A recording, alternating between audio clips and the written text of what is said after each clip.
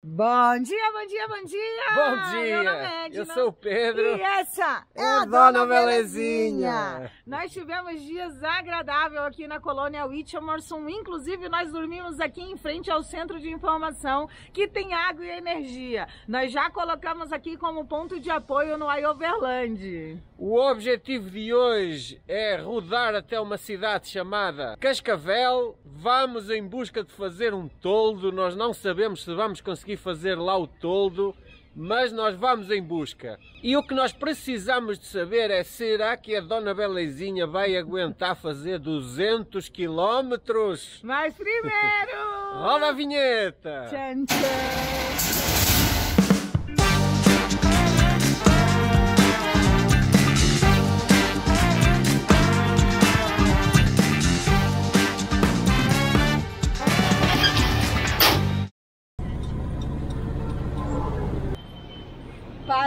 Num posto de combustível aqui em Palmeiras para abastecer. Eu já garanti aqui um cafezinho.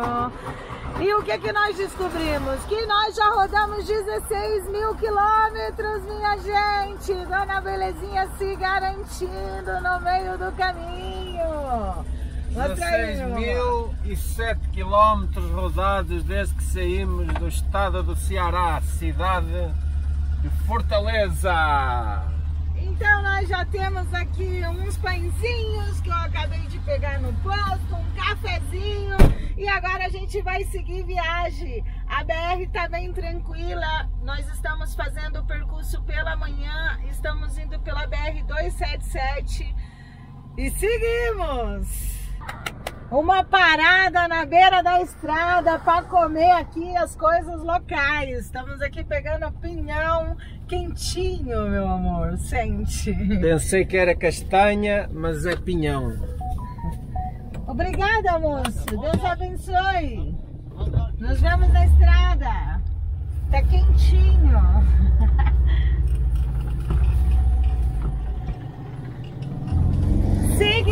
Meus amigos. Agora com um pinhão quentinho aqui dentro, fazendo aqui esses quilômetros. Dona Belezinha tá se garantindo, mas tem aqui alguns caminhões.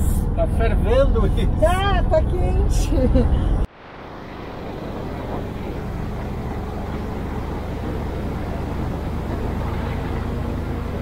Estamos subindo uma serra.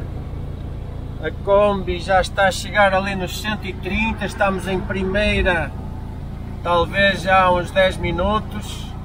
A temperatura veio dos 90 até quase nos 130. Tem um recuo, tem um recuo aqui, ó. Estou à espera que encontre um lugar para parar. Não vamos tentar ir, que olha, é descer já ali.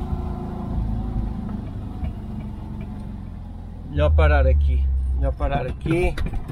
Vamos dar aqui uma paradinha que a Dona Belezinha está nervosa. Está aqui nos 130 graus, olha. Meu Deus. Vamos fazer aqui uma paradinha para ela descansar um pouquinho.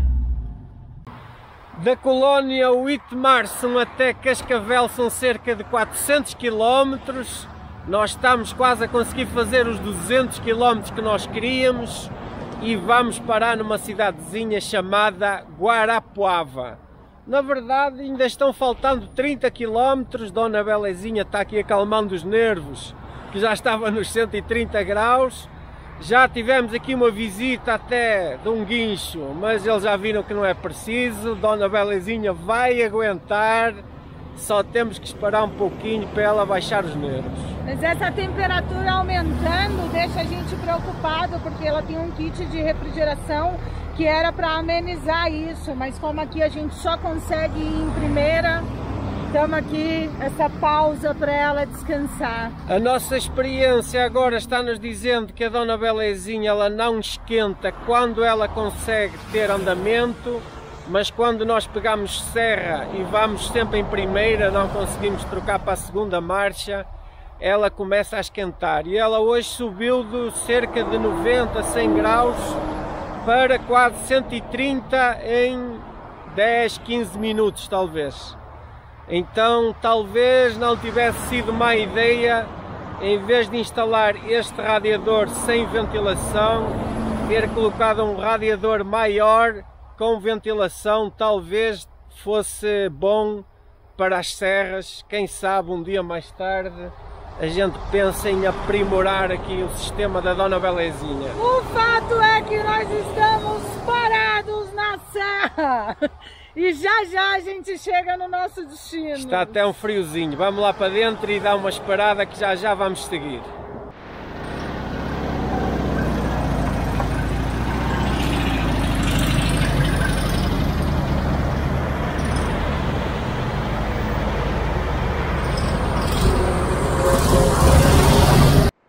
Atravessamos Guarapuava e chegamos em Cascavel. Estamos aqui no Lago Municipal, temos aqui banheiro e água, isso é top pra gente que tá na estrada. E a gente vai seguir na estrada a viagem rumo a Porto Mendes e você vai continuar aí com a gente. A viagem pela 277 até aqui foi tranquila, mas nós pegamos ali um pedacinho de serra e a Kombi na serra precisa sempre descansar um pouquinho porque ela fica com os nervos lá nos 120, 130 graus. Então nesse episódio a gente está mostrando para você como está sendo o rendimento dela depois que a gente colocou o kit de refrigeração. Nós inicialmente pensámos em parar aqui, mas nós vamos continuar e vamos tentar chegar em Porto Mendes, que já é oeste do Paraná e faz fronteira com o Paraguai. Bora nessa viagem? Temos muita coisa para acontecer aqui. Continua com a gente que esta viagem está a ser uma emoção. Vamos torcer para que daqui para a frente não tenha mais serras. Siga a viagem. Bom dia. Chegamos tarde ontem, só deu tempo de montar a barraca e entrar aqui dentro e dormir um descanso merecido, porque a dona Belezinha demorou para chegar aqui, ela vai devagarzinho e isso se torna um pouco cansativo.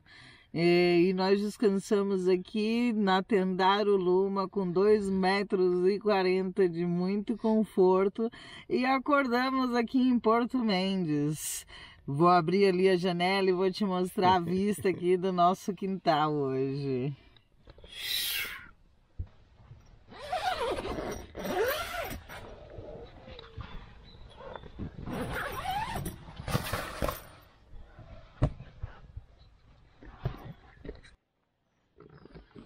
acordamos cercado desse verde e esse aqui é o nosso quintal. Nós estamos na praia artificial de Porto Mendes. Nós já mostramos aqui como opção de apoio. É, aqui você tem água, energia e segurança 24 horas.